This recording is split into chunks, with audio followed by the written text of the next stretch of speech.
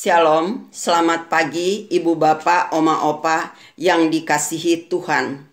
Kembali lagi kita berjumpa dalam program saya dan PKLU GPIB membaca Alkitab bersama. Ibu Bapak, Oma Opa, mengawali kegiatan kita di hari ini, kita akan membaca dan merenungkan firman Tuhan seperti yang tercantum dalam SBU hari Sabtu pagi tanggal 6 Februari tahun 2021 yang terambil dalam Alkitab Perjanjian Lama Amsal 20 ayat 19 sampai dengan ayatnya yang ke-24. Namun sebelumnya mari kita satu di dalam doa.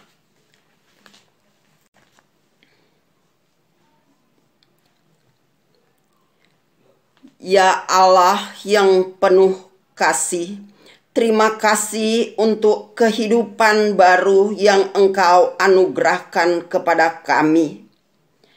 Menjalani segala aktivitas di sepanjang hari ini, izinkanlah kami untuk mengambil inspirasi dari sabdamu agar kami dapat hidup dengan sungguh baik sesuai yang engkau kehendaki. Bersabdalah ya Tuhan, sebab kami siap mendengarnya. Di dalam nama Tuhan Yesus Kristus, kami berdoa. Amin.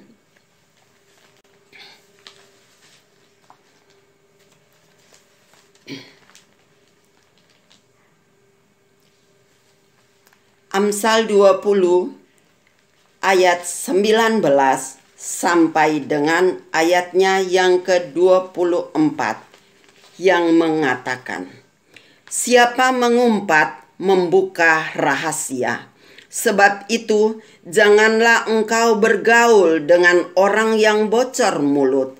Siapa mengutuki ayah atau ibunya pelitanya akan padam pada waktu gelap milik yang diperoleh dengan cepat pada mulanya akhirnya tidak diberkati.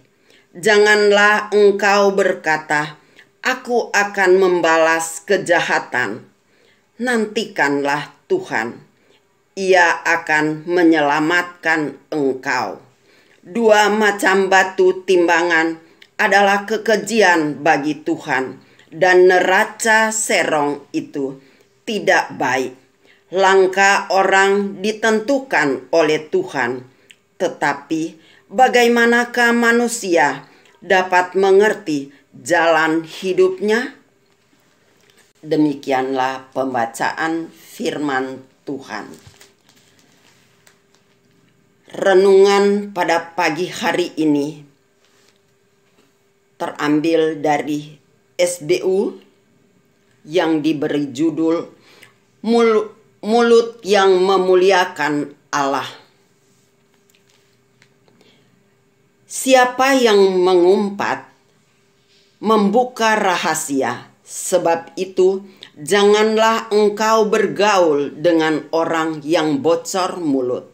Amsal 20 ayat 19. Oma opa, bapak ibu, ada ungkapan yang mengatakan mulutmu harimaumu. Artinya setiap kata punya kekuatan yang sangat besar efeknya bagi diri sendiri maupun orang lain. Efeknya bisa jadi buruk atau baik atau dengan mulut kita dapat memperoleh kebaikan. Tetapi dengan mulut kita juga bisa mendapatkan kehancuran. Ada teman yang putus sekolah di bangku sekolah dasar karena kenakalannya, dan mungkin karena kurangnya perhatian orang tuanya. Ketika dewasa, dia sering dihina, dibully, dan dilecehkan karena tidak sekolah dan disebut patah pensil. Karena kesal dengan hinaan ini, dia berontak dan berkata dengan keras, "Teman-temanku, kalian tahu bahwa Bang Roma Irama dengan mulutnya dia bisa mendapatkan uang banyak. Tetapi ingat, kalian dengan mulut busuk kalian bisa babak blur. Pernyataan ini mengingatkan bahwa orang yang tidak sekolah saja tahu bahaya dari sebuah kata-kata yang terlontar dari mulut penulis Amsal hendak mengungkapkan kepada kita tentang bahaya dari menggunakan mulut dengan keliru atau semaunya. Allah menganugerahkan kita mulut selain untuk makan, juga untuk berkomunikasi dan memuji Allah bukan untuk menghasut, mencemooh, memfitnah, menipu, dan memperoleh keuntungan dengan cepat dan lain sebagainya. Dengan cara-cara yang keliru dan salah. Peperangan atau pertikaian bisa dimulai hanya dengan sebuah bisikan atau kata-kata.